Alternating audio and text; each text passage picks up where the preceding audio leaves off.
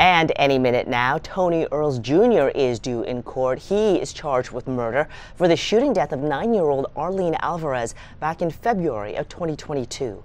Earls mistakenly thought a man who just robbed him at gunpoint at an ATM was in the Alvarez vehicle driving by when he opened fire. At the time, a grand jury declined to indict Earls for aggravated assault, but a special prosecutor now says new evidence warrants a murder charge. We'll keep you updated on what happens in court today.